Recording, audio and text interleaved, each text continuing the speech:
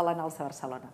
El Jordi deia, us parlarà d'innovació. Mira, jo no sé si us parlaré d'innovació. El que sí que us parlaré és d'una forma de pensar nova que nosaltres hem evolucionat com a empresa. Eh? Espero que aquesta forma de pensar, que la forma de pensar porta una manera, una forma de comportaments diferents, us pugui inspirar a vosaltres en els reptes diferents que teniu. Eh? Mm, mira, una mica en el, en el, hem, hem tingut una transformació i em veig una mica obligada a explicar-vos una mica què és l'empresa. Eh? Espero que alguns hàgiu tingut experiències amb l'heroi Martí, l'heroi Merlin, o com li vosaltres li vulgueu dir, no hi ha problema pel nom, i espero que la majoria hagin estat positives. Eh? Llavors, eh, espero que la majoria hagin estat positives. Val? Llavors, nosaltres hem evolucionat bastant eh? com, com, a, com a grup. Eh? I, i, us, i em veig una mica obligada a explicar-vos una mica qui som. Eh? Intentaré fer-ho molt breument perquè en, en cap cas eh, ni, ni és l'objectiu ni tinc ni molt menys la pretensió d'explicar-vos aquí eh, qui som, eh? sinó més aquesta transformació que estem fent. Bueno, aquí teniu unes quantes dades que penso que ens situen bastant bé. L'Heroi Merlin és el nom, diríem, de la primera, de la primera marca que tenim dintre del grup Adeo. El grup Adeo és un grup francès, és una empresa familiar, eh? és una empresa familiar que té doncs, bueno, totes aquestes dades que la, que la caracteritzen una mica doncs, com ha evolucionat. Eh? Tenim més de 82.000 treballadors, ara estem a 14 països, acabem d'entrar a Sud-àfrica amb quatre continents eh, diferents. Estem en el tercer rànquing mundial dintre del nostre sector, eh? ara us explicaré una miqueta quin és el nostre sector, a què, a què pretenem dedicar-nos i, din, i diríem dintre d'Europa de, som el primer, diria, primer, la primera empresa, eh? tenim el, el rànquing número 1. Tenim més de 281 milions de clients atesos, sí, perquè les dimensions a vegades també ens ajuden a veure, bueno, tenim clients molt diferents, eh? no només dels països, sinó doncs, molt, molt diferents, molt diversos, Tenim més de 561 punts de, de venda, de tendes eh, físiques. Eh, estem amb una xifra de venda de més de 16.000 milions eh, d'euros i, i bueno, ja l'any passat doncs, vam tenir aquests, aquests beneficis, eh, aquest evita. Llavors, Probablement coneixeu ja alguna altra marca d'aquí. Aquestes són les marques que treballem en el grup. Algunes estan instal·lades, per exemple, a Catalunya, com pot ser l'Heroi Merlin, Aki, Bricomar, i d'altres estan instal·lades a altres països. Eh? Nosaltres a què ens dediquem? No? M'ha fet molta gràcia el Jordi quan deia els artesans. No? Llavors, és que nosaltres el, diguem, això va néixer una mica amb el concepte, el, el fundador de, de l'Heroi Merlin, que després s'ha anat desenvolupant amb altres marques i ara ja és el grup, això va néixer una mica doncs, en aquest concepte de donar eh, o de proporcionar els materials, les necessitats que tenien els artesans. Els artesans d'avui en dia, qui són? Segur que heu sentit la paraula makers, no? Els artesans d'avui en dia som tots.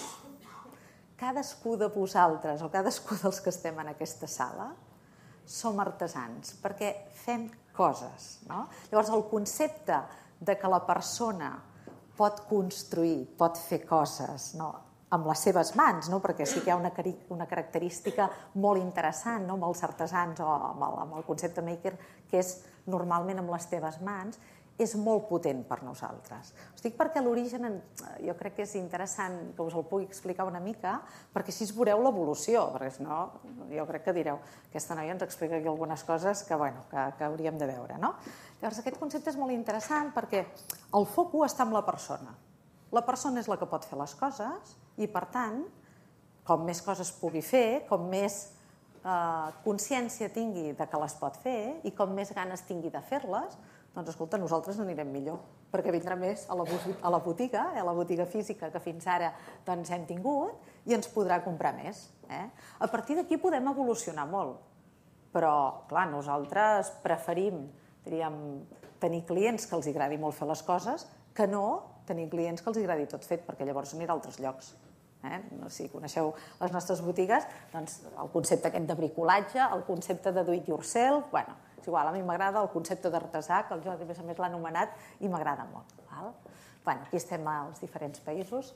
La nostra filosofia, quan comença a néixer, a néixer l'empresa, doncs és una miqueta la filosofia que tenim dintre d'aquestes quatre boles. No? Nosaltres considerem que el més important, diríem per nosaltres, aquesta filosofia que ens fa moure dintre del, del grup i de l'empresa, és que les persones que estan amb nosaltres, eh, nosaltres eh, que treballen, que nosaltres els diem col·laboradors als treballadors, vulguin ser-hi, Direu, home, una mica obvi. Ja, ja. Doncs pues no és tan obvi, eh? que vulguin ser-hi. És a dir, que tinguin ganes d'estar treballant amb nosaltres. Uh, a part de la gana, de, de les ganes, eh, de la voluntat, llavors, a vegades, evidentment, hi ha altres necessitats, eh, altres requeriments, però que tinguin ganes d'estar amb nosaltres. Eh? Això és molt important, perquè el concepte aquest, diríem, de motivació, el concepte aquest de, de voluntat, és el que creiem que mobilitza a les persones i acaba mobilitzant els ecosistemes de treball. Val? Tant és important, nosaltres naixem una miqueta aquest concepte. Després d'aquest concepte ja és important que la gent sàpiga, que nosaltres sapiguem. Sapiguem el què? Doncs el que necessitem per fer la nostra feina, per desenvolupar, diríem, els nostres entorns de treball, les nostres responsabilitats, els nostres reptes, les nostres il·lusions, tant, nosaltres ens sentim molt obligats a proporcionar tota la informació i tota la formació que requereixi per a aquest entorn. Per exemple, som de les poques empreses que jo conec, i, i, i la veritat és que he estat en altres sectors, que tota la informació, us diria el 99% de la informació, està a l'abast de totes les persones a nivell mundial. És a dir, no, qualsevol persona, qualsevol persona que treballi a l'heroi, venedor, una persona que faci la reposició, una persona que vingui 20 hores, una persona que en vingui 10 o diferents, tenim diferents situacions, coneix la xifra de venda de qualsevol tenda de qualsevol país, coneix el marge dels nostres productes, coneix tota la informació. I a més a més invertim molt en formació perquè ja us dic, eh, creiem que aquest, aquest poder fer les coses és responsabilitat de l'empresa doncs donar-ho eh, donar a l'abast de, la, de la persona. Eh? Sempre i quan hàgim tingut el primer punt, eh, que us deia. A partir d'aquí, escolta, si tu vols, si tens els recursos, doncs ara ja ho pots fer-ho. Eh? Ja ho pots fer-ho i per tant hem de deixar autonomia. Autonomia per poder fer les coses, per poder decidir en el teu lloc de treball. Perquè si no, és a dir, si tu vols, et dono la informació, però llavors resulta que la nostra organització és molt jeràrquica, molt tancada, i no permetem que hi hagi autonomia i poder de decisió dintre del teu àmbit de responsabilitat i que, en principi, no, no facilitem, no generem aquelles ganes, diríem, de que tu tinguis de proposar i de canviar el teu entorn, no? amb les teves decisions de treball, doncs seria una miqueta un bucle que portaria més, diríem, una insatisfacció que no res més. No? I llavors el concepte de tenir, per nosaltres, doncs és un concepte de si passa tot això, l'empresa va bé, ens funciona, a més a més portem més de 25 anys a l'estat espanyol i, i l'empresa es va fundar fa 35 anys, les coses funcionen, hi ha beneficis, per tant ens els repartim. I el 86% de les accions del grup és de l'associació familiar Molier, Molier és el, el nom de, de la família, i el, i el 14% dels, dels treballadors. Eh? Bueno, us explico una miqueta això perquè, sapiguent l'origen, jo penso que és interessant veure una miqueta la transformació. Eh? Bueno, que us parlava abans ja eh, de la capacitat d'autonomia, de la presa de decisions, i, I hi ha un concepte que aquí introdueixo que és l'intercanvi de bones pràctiques. Nosaltres sempre hem estat una empresa on hem afavorit moltíssim els, els espais, els entorns, on es pugui compartir les bones pràctiques. Bones pràctiques en diferents països, bones pràctiques en diferents marques, que nosaltres els diem business unit, etc. És a dir, creiem que mm, compartir sempre és beneficiós. Eh? I compartir sempre és beneficiós i, per tant, compartir, el, com ho fas tu, compartir el saber, compartir i una miqueta preguntar no? i posar-te davant del mirall de diferents situacions ens ajudava, ens ajuda moltíssim eh? i ens segueix ajudant. Perfecte. He fet aquí un dibuixet molt, molt, molt senzill de quina era la nostra estratègia fins al 2013. Poso el 2013 perquè això de, la, de les, dels anys, la veritat és que tot canvia molt ràpid. Eh? Nosaltres ens basàvem com a valor diferencial, ja sabeu que les empreses, escolta, quin valor diferencial donem? Perquè clar, ens hem de diferenciar, no? Els nostres competidors, els... Bé, perfecte. Doncs quin valor diferencial ens centràvem nosaltres? Un preu, una relació qualitat-preu, pensàvem correcta, molt producte, eh? Mm, no sé si ho heu vist abans, nosaltres treballem aproximadament amb unes 150.000 referències disponibles. Eh? Això vol dir que eh, si entreu en una de les nostres tendes, si algú de vosaltres pues, eh, eh, hi ha estat, allà mateix en tenim disponibles unes 42.000. 42.000 de diferents. 42.000 de diferents, és que són molts mil. Llavors, aquesta, diríem, extensió de possibilitats que donem a la persona perquè el, el, el, el client doncs, perquè, perquè pugui comprar és molt àmplia i a l'altra, la part també important era la part de serveis. Serveis, quins serveis li donem al client? Doncs serveis, a part de la compra que pugui fer dels nostres productes, doncs el típic. El transport, si vol que li instal·lem, eh, serveis, de, per exemple, de formació eh, que tenim dintre de la nostra web, etc. I la part d'equips. Aquest era, en general, el nostre valor diferencial. Doncs, com formàvem els equips, tota aquesta filosofia que us deia de participació, com els involucràvem, etc.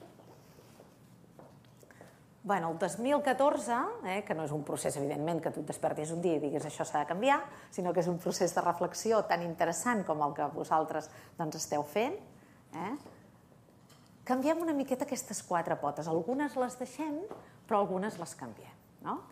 Llavors, a partir del 2014, nosaltres comencem a, a pensar de forma molt seriosa amb conceptes com l'economia col·laborativa, com està impactant en nosaltres, com la transformació digital en la producció, no? per exemple, perquè tinc que anar no sé, a comprar mm, no sé, a comprar doncs, una clau inglesa a l'heroi, si me la puc fer a casa amb una impressora 3D.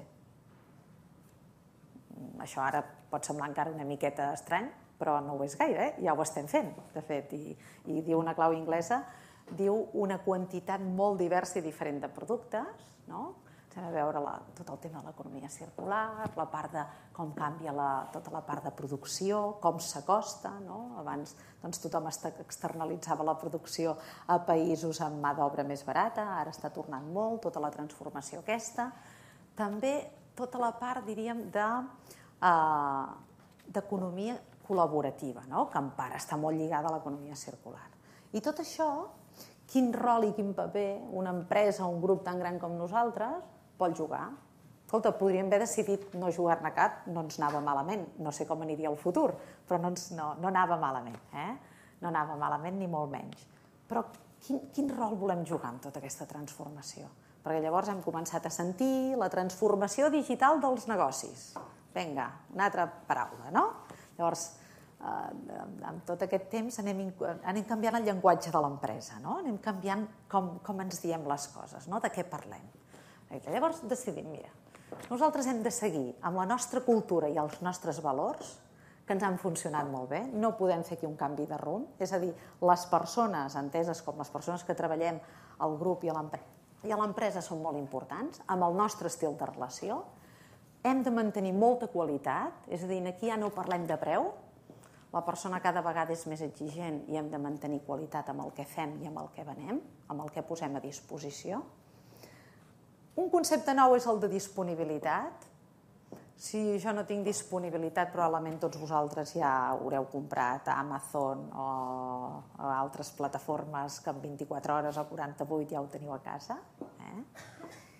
I llavors, un concepte que és el de l'omnicanalitat. No? I què volem dir nosaltres amb l'omnicanalitat? L'omnicanalitat és quan ens fa repensar quina és la relació que tenim amb el client. Nosaltres comencem a pensar quina és la relació que tenim amb el client. Val? Llavors, amb el client, nosaltres a futur o ara ja volem tenir una relació que sigui ell qui decideixi moltes coses. Eh? Què vol comprar? Evidentment, eh? ja, ja ho feia abans. A on ho vol comprar? si ho vol comprar a la botiga, si ho vol comprar en un altre canal, però que, que ho compri a nosaltres. Eh? Quan ho vol comprar, per tant, donar facilitat perquè no tingui que ser en un horari tancat i com ho vol rebre o recollir. Eh? Aquest és un concepte que per una empresa, diríem, tan gran com nosaltres i amb una quantitat tan diversa de producte com tenim, des d'una cuina a una broca, eh, o una estora o a una bombeta, ens fa repensar moltíssimes coses. Eh? Jo ara tampoc us vull aquí eh, parlar molt de processos. Per mi la intenció avui és, és fer-vos reflexionar una miqueta més d'aquest canvi de pensament que tenim. No? Però aquí, quan comencem amb això, encara seguim parlant de client. I, i, I per nosaltres el canvi més important ha estat a finals del 2014 i 2015 quan diem és que ho estem fent malament això. Estem pensant encara com en el passat, però volem donar el pas cap al futur. I llavors diem, mira, nosaltres hem de deixar parlar ja de clients, perquè si pensem en la persona, la persona té molt més poder que no ser un client. Llavors, ens comencem a plantejar que ja no volem tenir només com a interlocutor el client, que volem tenir l'habitant l'habitant com un concepte poderós que som tots. No? I quina és la relació del grup cap a aquest habitant? No? I què podem donar o compartir i què ens pot donar ell o compartir? No? Perquè això sí que hi ha d'haver-hi, diríem, la, la creació d'un ecosistema que sigui de responsabilitat per amb dues parts. Perquè només amb una part seguim pensant en un concepte de, espera't, primer faig condent al client, Quin grau de satisfacció? Quantes vegades rebem enquestes de graus de satisfacció del servei que hem rebut o del producte? No? Aquest és un concepte antic. Llavors hem passat a el volem fidelitzar. Escolta, que no compris a cap altre lloc, o si compres només sigui, mmm, bueno, quasi bé un error, que compris moltíssimes vegades, el client fidelitzat. Doncs nosaltres donem un pas més i diem, perfecte, client satisfet, perfecte, client fidelitzat, però volem el client actor. El client actor, no? que sigui, diríem, que tingui la responsabilitat de dins-se i d'ajudar-se a veure com ho podem fer i a veure què vol. No? I ara us explico una miqueta tot aquest concepte que va molt a, amb la línia aquesta que esteu, que esteu treballant no? i que avui és subjecte, diríem, de, del, de l'estona que estem compartint, què hem fet, no? perquè això pot semblar una miqueta esotèric, però no, eh? ho hem baixat a la realitat i el que representa per nosaltres. Llavors nosaltres diem, mira, tenim clar que el nostre entorn de moviment és l'habitant, o el ciutadà, podríem parlar, eh? però el ciutadà a vegades es relaciona més amb ciutat, doncs és l'habitant en general. Nosaltres ens volem relacionar amb l'habitant. I, amb, i, amb què, I amb quin entorn, amb quin espai?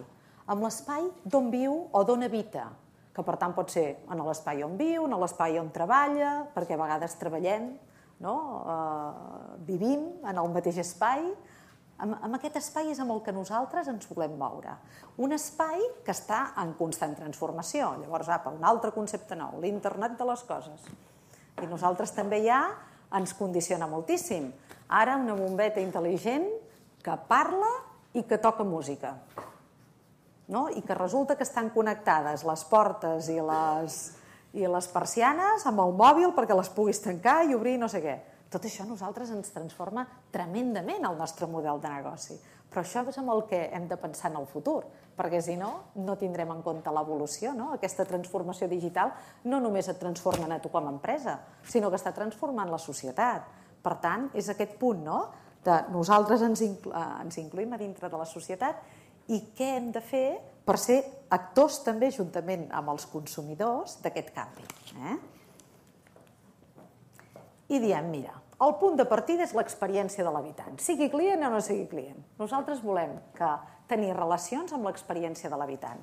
I aquesta experiència, segur que heu sentit això de l'storytelling, no? Això de, anem a fer una història com si, no? un conte com si... bueno, doncs aquest punt de partida, que és l'experiència de l'habitant, és el que ens condiciona la transformació de com fem les coses a nosaltres com a col·laboradors, com a treballadors de, de l'Heroi Merlin. Eh? I nosaltres ja no només tenim un habitant.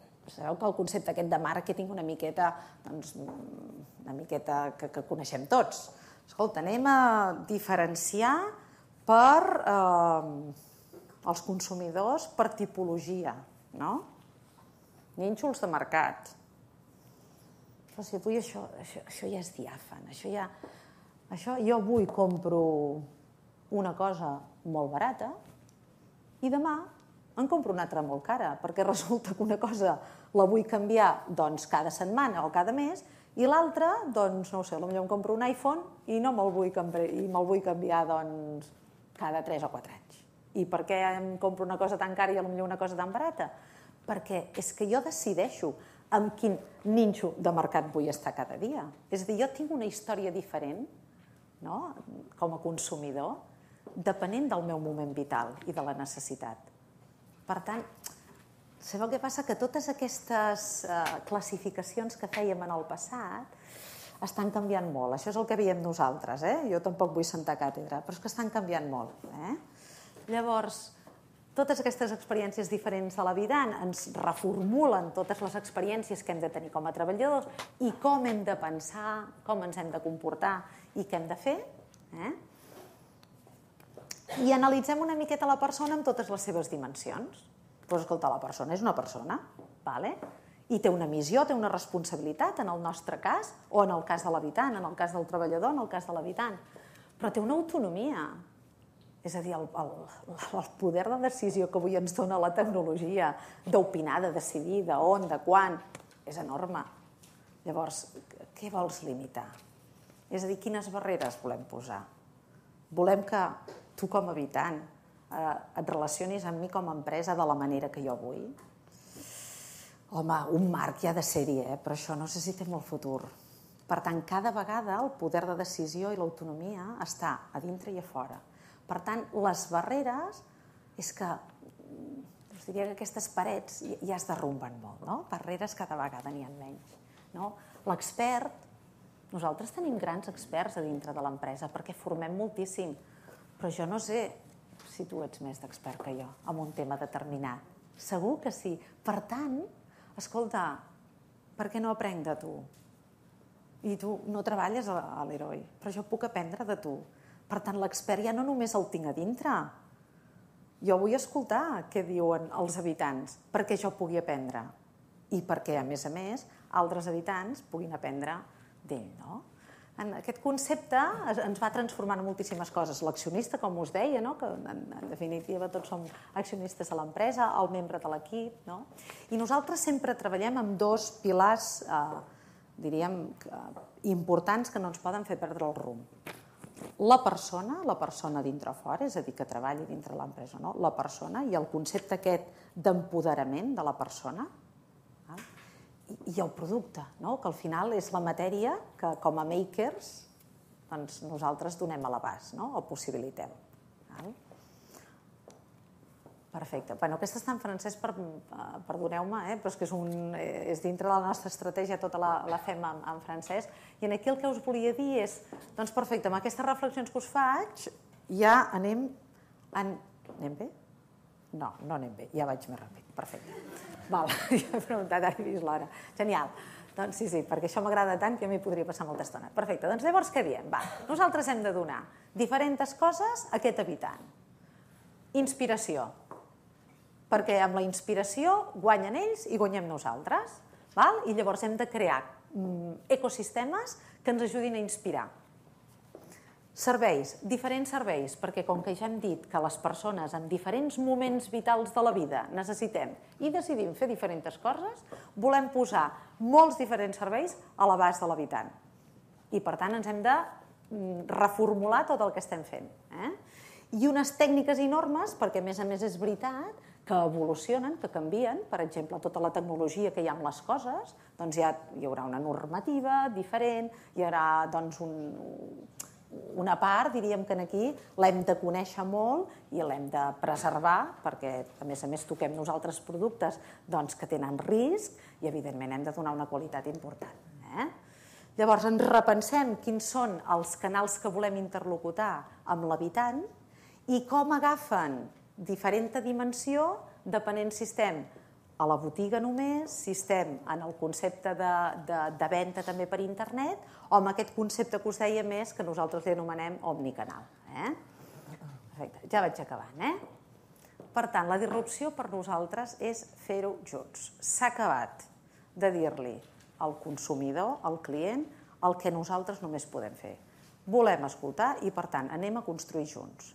I comencem des de l'any passat a construir productes junts no només a...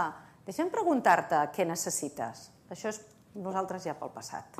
Evidentment que hem d'escoltar el futur client, el consumidor, què necessites. No, no, és que tu ets l'actor i vull que el construeixis amb mi. Perquè, a més a més, pot ser que ets l'expert, i si no ets l'expert, doncs mm, aprendré coses. Per tant, anem a construir junts plataformes de construcció de productes i serveis. Val? Una altra cosa que posem en marxa és la part d'inspiració i és també conjunta.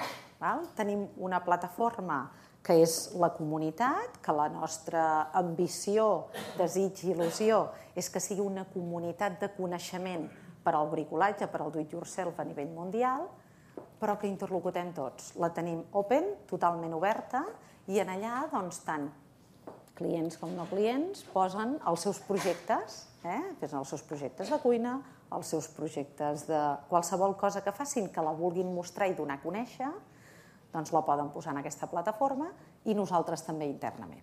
Eh? Nosaltres també diríem als nostres col·laboradors i treballadors, nosaltres també podem fer-ho. No? Per tant, és aquest concepte de que la innovació ja no només la treballem com un procés intern, sinó que sempre incorporem val, les novetats, eh? sempre incorporem doncs, la, els habitants. Els habitants que poden ser clients o no, poden, o, o, o no, eh? no exclusivament. Eh? Nosaltres ja no només treballem ni molt menys amb el client o amb el consumidor. Tampoc. Eh? Per tant, per acabar, eh? això ens transforma molt de forma disruptiva. Eh? Què volem fer, què sabem fer, què podem fer i què tenim. Eh? Hem canviat moltíssim diguem, la forma en què ens relacionem amb el client, estem en procés de transformació. Això és un camí, no és un destí, eh? perquè la societat, a més a més, evolucionem de forma constant, però sí que, sí que és cert que el que considerem és que la personalització del servei no pot ser només decidida per l'empresa, que la personalització del servei és decidida conjuntament i no només és responsabilitat de l'empresa, sinó que pot ser diferent depenent de cada una de les persones que interlocuta amb nosaltres. I no la volem només amb una relació econòmica, sinó amb una relació molt més oberta, d'aprenentatge, de compartir coneixement, de canvi, de transformació, de donar-nos idees de nous negocis, etc. Eh?